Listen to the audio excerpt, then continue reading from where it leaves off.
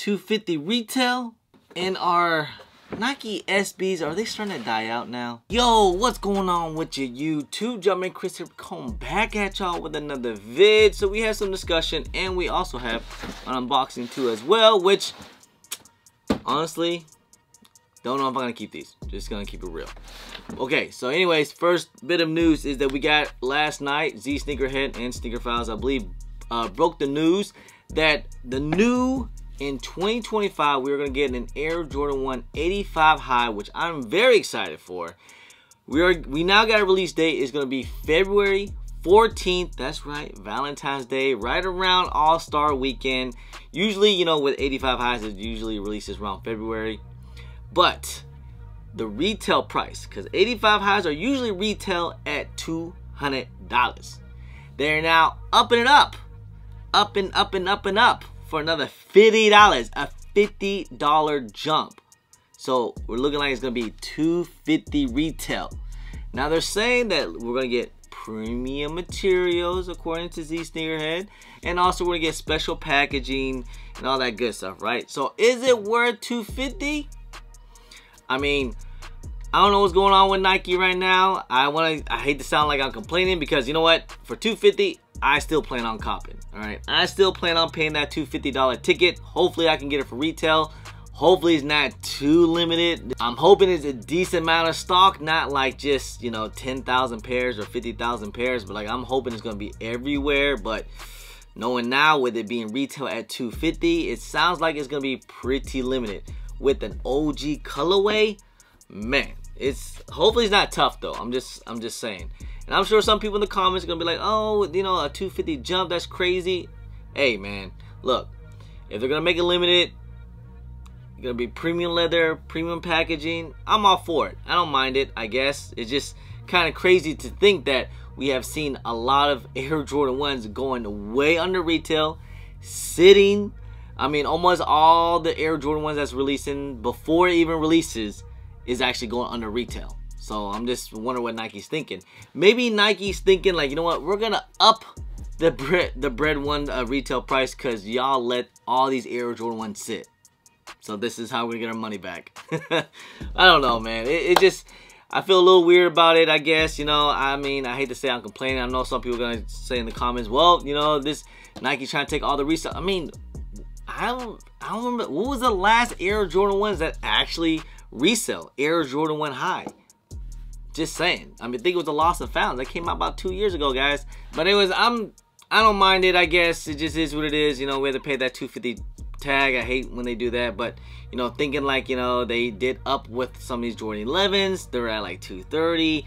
Remember the Lightning uh, 17s that came out? Those retail at 300 but those came in like a cool case and everything, and those were very limited. So, I guess I can see it. You know, no big deal. Anyways, we do have an unboxing here we got from Nike, and these were actually, yeah, these were sitting on the sneakers app. Yeah, they were sitting pretty hard, just saying.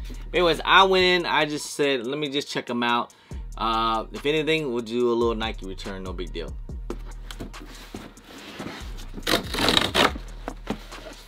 Voila. Now my question is, are Nike SB starting to kind of fizzle out? You know, they the hype's kind of dying down? Some people might not might not like them, or is it because it's a bad colorway, or there's just no resale?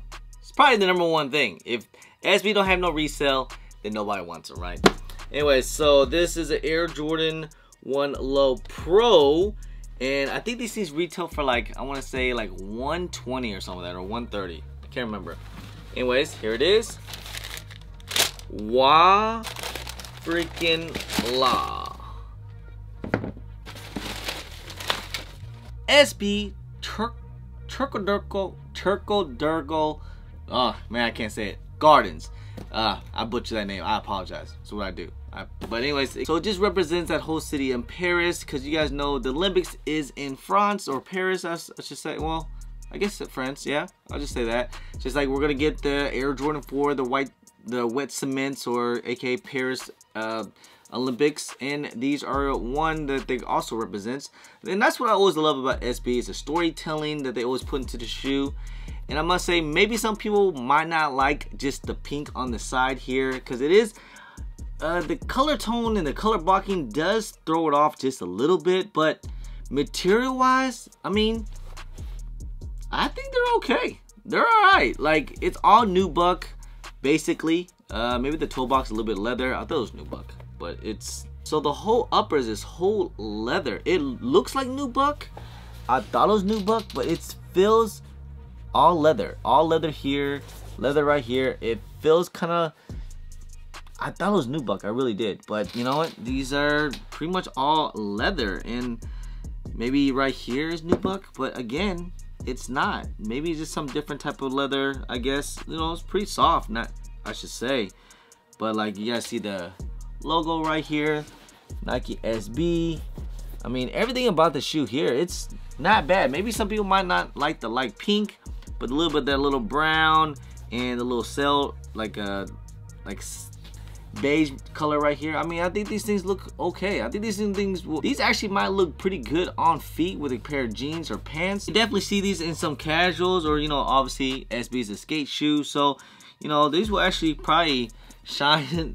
these would probably be some head turners down the skating. But overall, I'm not sure if a lot of people are to be feeling these. Uh, these things did release at skate shops a little bit, a couple weeks ago. I want to say like two, three weeks ago. And then Sneakers App finally got their release last week was able to get a W sitting on on the sneakers app. I mean, actually, these things are actually going for a little bit way under retail. So if you you might be able to cop still. I'm just saying. Still on the sneakers app. Matter of fact, almost every single size is still on here. Again, I'm not. I don't think anyone was really feeling these, you know. But if you guys do like these, I mean, check them out. It's only 125 retail plus shipping and tax, probably like 130 to you. But again, these things are probably going way under retail. I wonder if some of the skate shops actually dump these on StockX or something like that. That's why the price is kind of going down. Because again, uh, skate shops had them about a couple weeks ago. Sneakers have just now got them last uh, last week, and they're still sitting. Probably gonna go under retail pretty soon. It's crazy to think that SBs are now going under retail. I just think maybe if it's a bad colorway, if people's not feeling then yeah, I could definitely see it. But I don't think these are that terrible. I've seen way worse SB colorways, like those, you know, those Pepto Bismol ones, whatever they're called, I forgot. But those were pretty terrible. But these are not great by any means, but they're not terrible. But I can definitely see why these are going for way under retail. I probably, I'm pretty sure you could probably find some people trying to sell these things for way under retail. Honestly, you can probably find, you know, if you go to maybe like a sneaker event or something, you can probably find these things for like 80 bucks or something. I wouldn't I wouldn't doubt it because it does come with the extra set of laces. This pink laces here. I might, if I were to keep these, I'll probably swap them out or I might keep this little brown, light brown colorway. I mean, it does pop with the toe box with the shoe and the tongue comes with the fatty tongue. Again, it's a skateboarding shoe. Um, just maybe I just don't think that people are feeling the colorway or Probably because the resale price is not going for much. That's why they're sitting. Just the way how things are been, you know. But yeah, you guys let me know how you guys feel about these Trocadero Trocadero Gardens. Sorry, I can't speak French. You know, I'm terrible at it, and I can't even say names anyways. I, I'm trying my best. All right, but you guys let me let me know how you guys feel about these. With these, I'm pretty sure majority of people didn't cop, but I'm just saying how you guys feel about this colorway. Is it I though? Like, is it cool? But me, personally, I think they're fine. It's not a bad shoe by any means. Will I keep them? I'll wait and see. And also, man, 250 for some Air Jordan 1s. I know it's a Bred colorway and all, but still, 250 Man, I'm hoping that special packaging, it better come with something like Michael Jordan's signature or something. Like he better kiss a napkin or whatever. or may, may, it better be some real premium materials. That's what they're saying. Something something along those lines. But anyways, the wait and see about that. Anyway guys, just want to say, hey, I just want to say I appreciate y'all. I love y'all. If you guys don't mind, please hit that thumbs up. Subscribe if it's your first time here. Comment down below and please hit that bell for all the notifications when I do drop vids. And don't forget to follow me on my social media at JumperMan Kris on IG, sometime on Twitter, and don't forget Snapchat. I'm also on TikTok. Anyway, guys, appreciate y'all. Love y'all. I'm JumperMan Kris. Peace.